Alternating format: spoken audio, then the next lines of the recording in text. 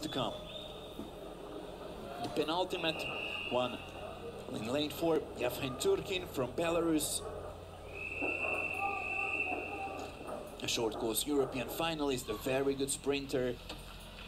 But I would say he's rather a 50 meter swimmer than a 100.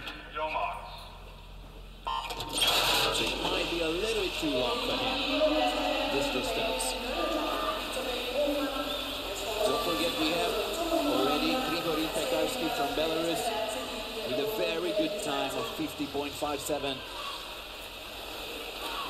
And here are also two Belarusian swimmers in lanes three and four. Yehor Doderov and Yevhen Tsurkin. However, it is Polish Michal Hudy who is in the lead, or who was in the lead actually, because and the final turn, it is the turn of Alexander Sadovnikov of Russia. Now he is in the lead, he's swimming in lane five.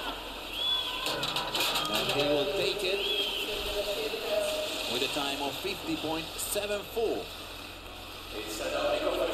Tsurkin already outside, 51 seconds.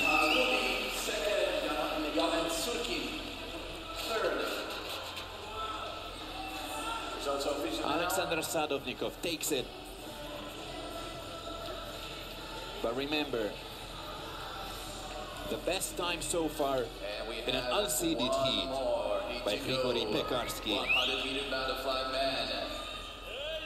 You see, that's when we first, first in the Now morning. we have the final heat of this 100 meter butterfly.